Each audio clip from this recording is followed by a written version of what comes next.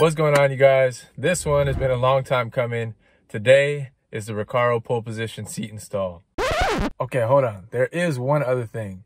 I was recently looking at the data for the channel and it showed that over 81% of our channel's viewers are not yet subscribed. If you're enjoying these videos that you're seeing and you want to support the channel, think about hitting that subscribe button and hit the notification bell if you want to be notified when the latest video drops. Much appreciated. Before we get going, I wanted to remind you guys, in today's video, there are going to be some hidden instructions how you can win these paddles for the Mercedes that they apply to basically uh, anyone who has the button steering wheel paddles. It's the first official giveaway of the channel, so stay tuned. I'll see you guys here shortly. So first off, let's go over everything that's going to be involved in this video. So we got our two pole positions now you'll notice obviously there are two different styles. One of them is the uh, kind of cloth material um, with the cloth inserts. This one used to be, which I will overlay now in the video, used to be a gray leather. I uh, used uh, Angelus leather paint to paint this one black, same way I did my steering wheel. And then I thought I was using the matte, um, basically water repellent on top, but it actually was the regular one. So that's why it looks fairly glossy right now. Now that does diminish over time, especially when people are sitting in it, etc. It'll kind of fade and lose its luster a little bit, so it won't be so shiny. Um, but it turned out really well. It still stays really soft. And this stuff is super durable. If you're at all familiar with like the sneakerhead community, you know, Angelus is the go-to for any type of like leather sneaker reconditioning or anything like that. Um, and then for the cushions, now these on the other hand, were a pain in the butt. I tried like three different leather dyes on this, uh, or suede dyes specifically. And then I realized this isn't even suede, it's Alcantara. Um, so I don't know if it would have made much of a difference anyways, but the last one I use, I'll pop up on screen, it's Tulip fabric spray, and that stuff worked like a charm. I wish if I just used that from the beginning, they would still be nice and soft. But right now, I mean, they're still pliable, but it's not as soft to touch uh, like it would be if they were, you know, just Alcantara without having been dyed. Uh, hopefully after, you know, same thing, these kind of get sat in, they will kind of get the, the fibers back up, the hairs will pop back up and they'll be a little softer. But as far as what they are, uh, it's gonna work fine, it's gonna function fine. The leather one's gonna go on the passenger side and this one is gonna go on the driver's side. My thought process being for that is uh, you know, kind of keep leather throughout that side of the car and then have the driver's seat as something kind of unique. Um, so that's why I wanted to do that. And also because I plan on eventually probably putting the same cloth cover on this one as well. I just figured, you know, why spend the extra money to do that at this point. I just want to get them in there. Um, and then later on, if I want to change out the covers, I can always do so. Moving on, you can see one of them already has the brackets on it. Um, and I need to touch up this hardware. I got a little tasty from sitting outside in the weather um, at one point before I owned them. Um, big shout out to Dimitri, by the way, for hooking these up. Um, these were his previous seats. These were in his CLK 320 before he decided to sell it. So yeah, he knew I was looking for a pair. He was getting rid of his, so he gave me a true friend deal on that. So I really appreciate it. Again, big shout out to Dimitri. Um, so this one already has the steel brackets on it. There's another set of steel brackets inside of the box here. And then he also had a set of aluminum brackets that he was planning to put for both because they're a lot lighter than the steels. Um, I don't know which ones I'll end up using. Um, if I do, I'll probably put these on the driver's side just to save a little bit of weight. Um, over here, and then here's all the hardware, by the way, too. We'll get into that. Extra seat buckle just in case. Um, these are the planted brackets and you can see part numbers for these right here. Um, this is the driver's side with the Recaro uh, slider already on it.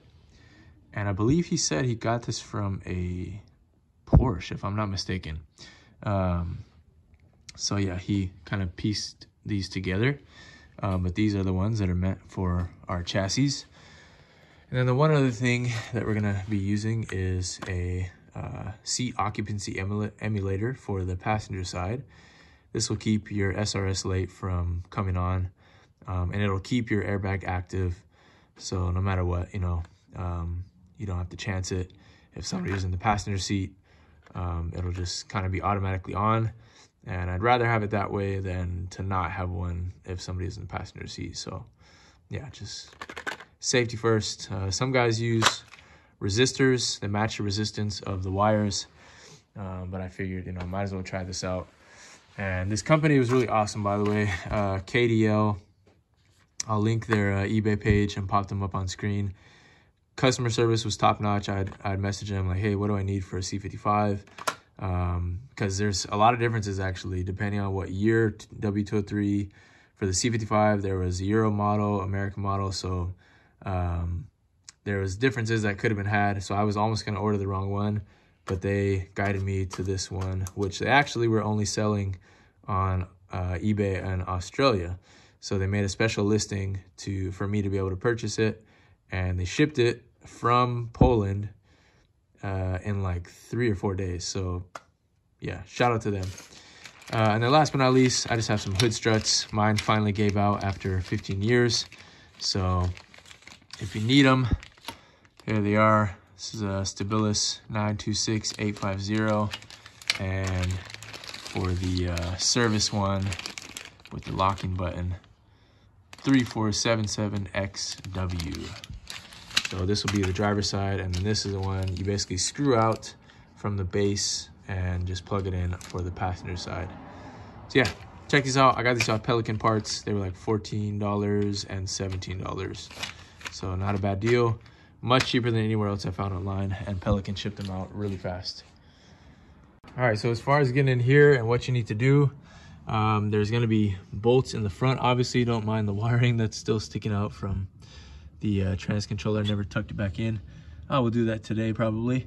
Uh, so there's bolts up in the front. I believe they're Torx and you need to unplug everything. Uh, and then same thing for the back. There's bolts in the back on each side and then you also need to take uh, this cover off and there's a Torx bolt for the seat belt holder. Um, I get, I'm gonna find things out as I go because I've never done this before, so um, I will update you guys as we go. The one thing I do know is I'm gonna need to keep one of these modules in here. I need to figure out which one it is.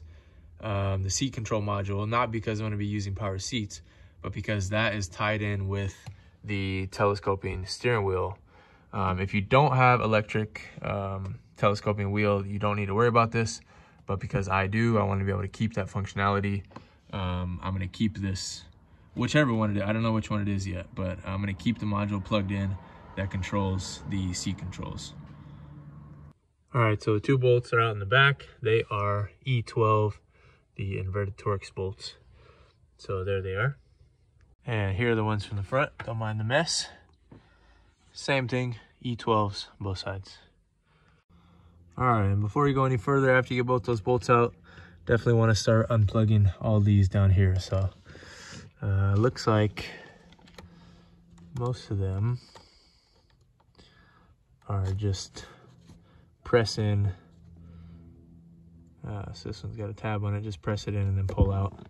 Looks like they all have a similar similar situation. They might be a bit stuck because they've been in here for a long time, but there they go.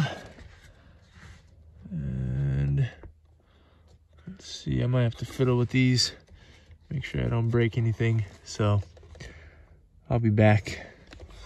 See you in a second. The last two, um, this is just a press down as well. It's like that, pull it out. And then this looks like it's one little piece, but it's actually the whole thing on the outside. So you gotta press on both sides, pull it out. All right, so now all of those are unplugged. The seat, I think, the sides are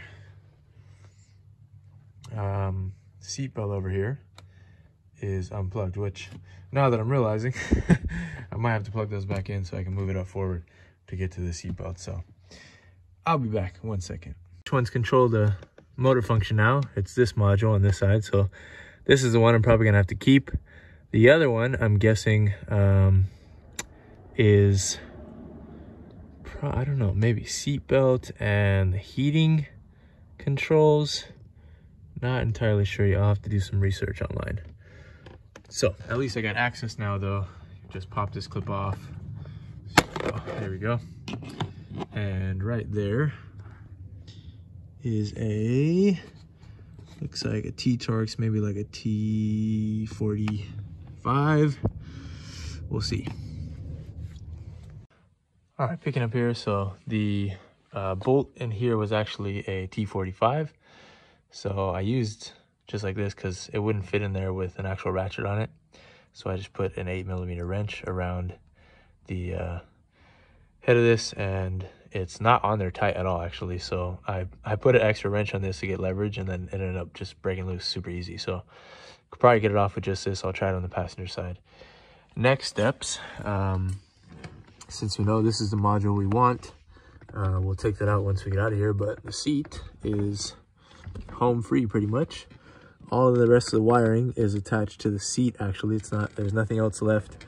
This is the only wiring loom that's uh, actually in the car. So um, now I just gotta snake this seat out of here. So I'll give you guys a little time lapse of how I get this out.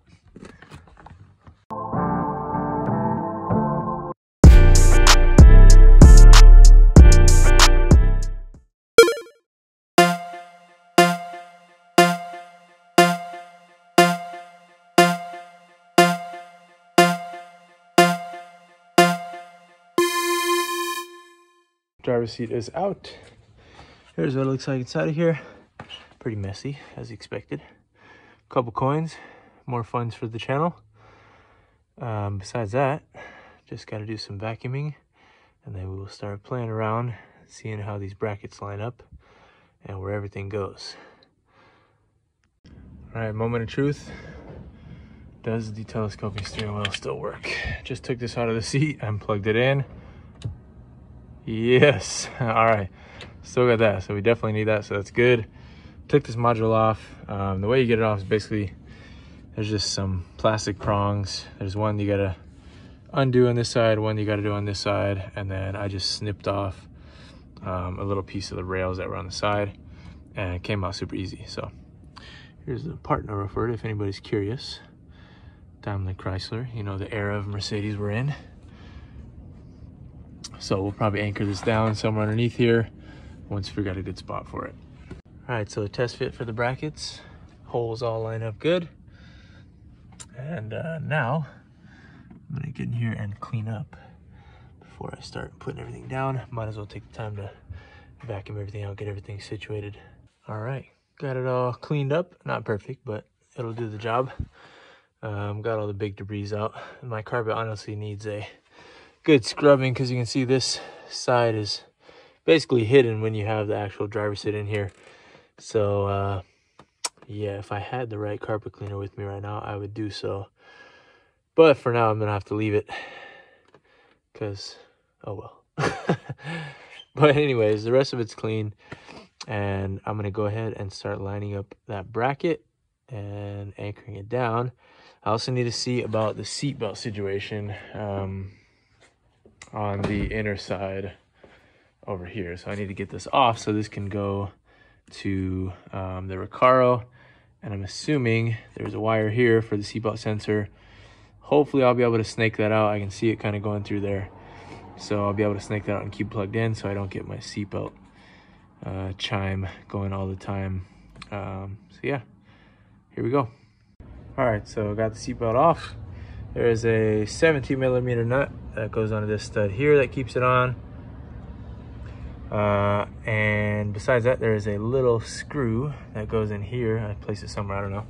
And then the plastic part on the back, you just uh, clip in that side and it'll pull up and then you just pull out like that. So now we got this solved. We'll be able to plug this in so our seatbelt light is not going wacko. And let's keep this job going.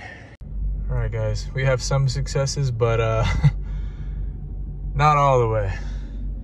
As you can tell over here. uh, no passenger seating right now because the driver's side seat. Yeah, driver's side seat was a pain in the butt. It is installed, it's finally there. Um, but we got some more work to do, so I'll have to pick the video up in a few days from now. So see you guys soon.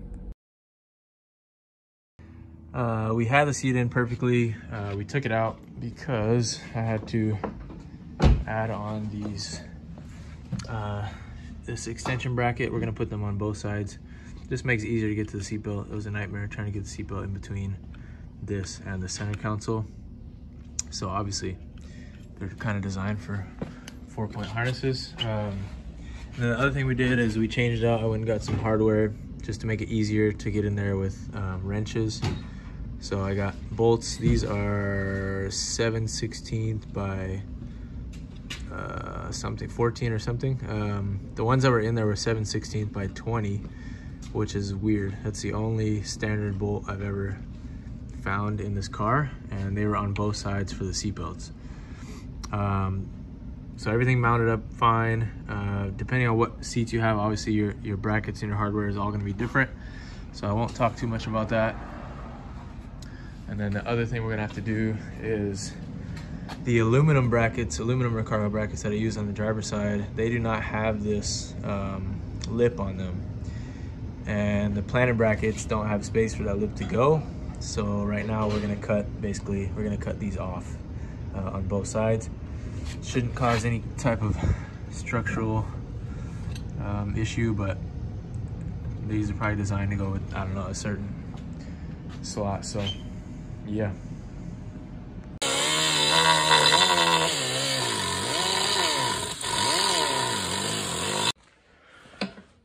Got these things tripped off over here, so it's all flat in the bottom. And then two of the holes lined up on the planted bracket, but the front one didn't, so we're just gonna drill those real quick. and uh, the other seat is in. So there it is with the seatbelt extension. Way easier to get to. Before it was like way tucked down here, probably by about three or four inches. And it was impossible to, I literally had to like flip the seatbelt the opposite way to even get it to click in. Uh, and then here down here, hold on.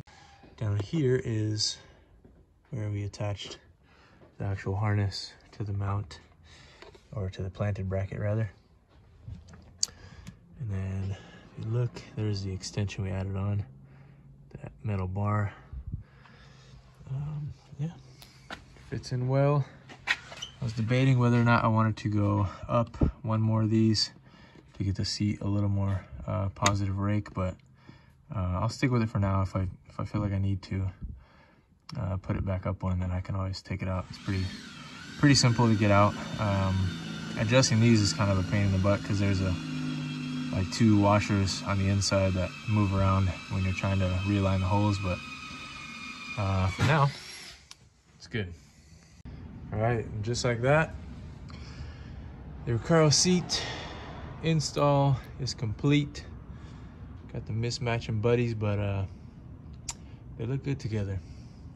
So my thought process, like you guys know, is kind of match the leather throughout kind of the L shape of the car with the back seats and the front passenger, and have the driver's seat be something unique. Uh, so yeah, I think mission accomplished for now. I will end this video with uh, some good shots during the daylight so you can actually see how everything looks.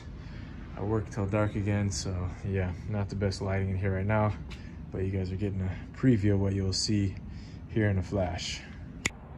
All right, as promised, here's some daytime shots. So here's from outside of the car in the back. Here's from inside of the car in the back.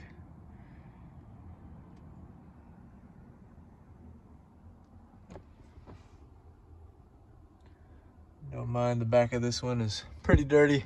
I still need to take a plastic razor blade and scrape all of the extra paint off from when I was painting it. Comes off of my fingernails, but it takes too long, so I'll get a little plastic razor blade and get that off. Now let's move on to the front. All right, here it is from the front of the car. See, see my breath showing up. it's cold outside. But there it is. Looks super clean not really noticeable um, when you're just looking from outside of the car unless you're kind of paying attention. Um, but a nice, clean, simple upgrade that makes the driving experience uh, very nice. Uh, another awesome upgrade to the car that I'm super happy with. Driving experience wise, they feel really good. Uh, good bolstering, uh, especially like in the mid area on the torso and still comfortable. They're wide enough. Like I said, the pole positions only come in one size. They're kind of built for a bigger frame. So I'm a pretty tall guy, I guess. I'm around 6'2", 6'3", around 180, 85 pounds. Um, so they work good for me. They fit comfortable, uh, still hold me in really secure. And they probably dropped around, I don't know, anywhere from 40 to 50 pounds per seat compared to the stock seats. The stock seats weren't as heavy as what I've been hearing online. They're probably about 70 pounds if I had to guess. Um, maybe less than that. Uh, what was rumored online was somewhere around 90 pounds per piece. So I don't know, maybe maybe people haven't been hitting the weights. They thought it was a little uh, a little heavier than it actually was, but no, all jokes aside, um, they seem to be around 70 pounds or so, maybe a little less. Uh, so yeah, weight-wise, excellent upgrade. Driving experience-wise, excellent upgrade. And just overall look of the car, I feel like they look pretty dope. They fit the car well. They fit the whole build well. Um, I feel like with the shifter, the stereo delete, everything else that's going on in the car and the way the car is built right now, all of these things cohesively coming together, it's turning this car into a whole new thing. And it's really fun um, to just, I don't know, every every few mods you feel like, man, this car is like really changing. And it's, it's cool to see the progression and the transformation of this car as it goes. So 2021 has a lot more in store for it. And 2020 is not done yet. We still got more to do. So that being said, hope you guys enjoyed. If you missed the G-Paddle giveaway, it's hidden somewhere in the video, so go back and try to find it. And uh, look forward to seeing who is the first winner on the first official giveaway for the channel. So thank you guys as always. Don't forget to subscribe, and I will see you guys on the next one. Peace.